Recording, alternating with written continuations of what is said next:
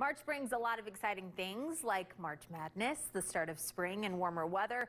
People tend to get out to do more, but that can also have some negative consequences when it comes to money. So the big question is, how can you keep an eye on your money this March, or better yet, actually make some more of it? Steve Siebold is a certified financial educator and author of the book, How Money Works, Stop Being a Sucker. I'm already sucked into the book with the title. Good morning to you.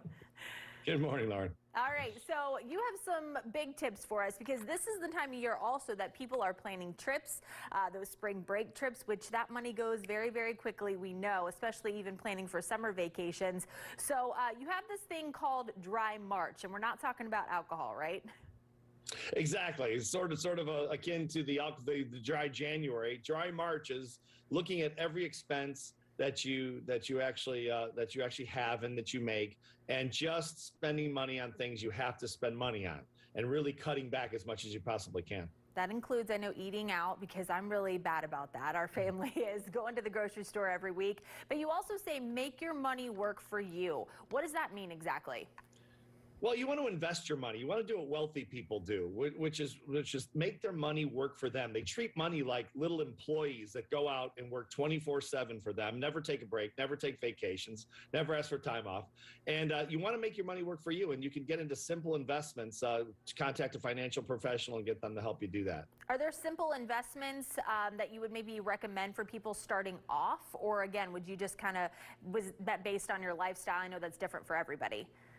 Yeah, it's different to make wholesale uh, to give wholesale financial advice. Yeah. That's why you want to work with a financial pro. We always say don't try to hike the mountain alone because it's it's dangerous up there. Yeah. But if you get with a financial professional, they can kind of give you the guidance that you need specifically for your case. There you go. Make money on spring cleaning. Uh, what is what does that mean? Have a garage sale? Absolutely. If, if, yeah, you can have a garage sale, or you can clean out your closets, clean out your attic, your yeah. your basement, all these things that we purchase over the years, old computers, old radios, old you know everything, uh, phones that you can sell online, Facebook Marketplace or eBay or any of these uh, these online providers. I mean, billions of dollars go through those channels every year, and why not take advantage of it? There you go. We only have about 45 seconds, but I want to get to this last one: comparison shopping. Uh, a lot of us like to look for good deals, but what's the best way to do that?